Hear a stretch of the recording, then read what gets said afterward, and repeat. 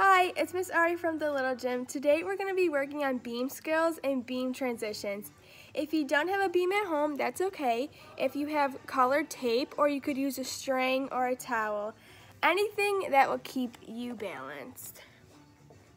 Alright, let's get started. So first on our beam, we're just going to walk across it. Try to stay on the beam.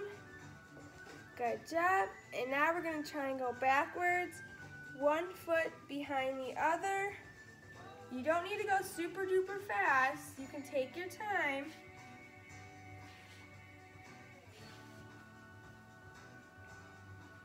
Good job.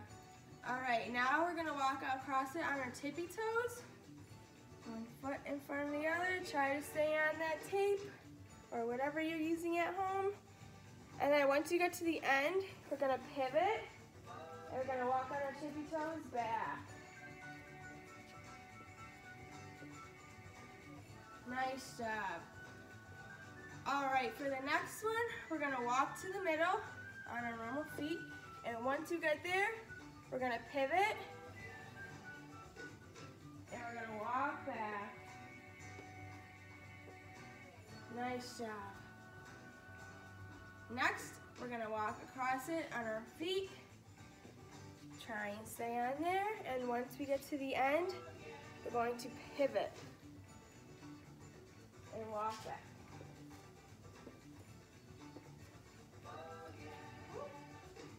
If you wobble or fall off, just get right back on.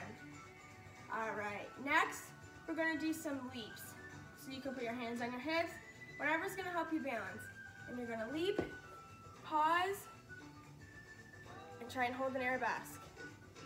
Good job. Then you're gonna do it with the other foot. Leap, pause, hold it. Good job. Let's do that same thing going back. Pause, and bring it down. Try and do it with the other foot. Pause, and go down. Nice job. Let's do one walk. Again, walk, walk.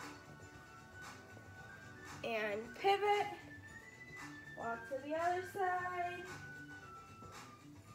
And pivot. And that is it. Good job. I hope you have fun doing this at home. And I hope you're all staying safe and healthy. And I hope to see you soon.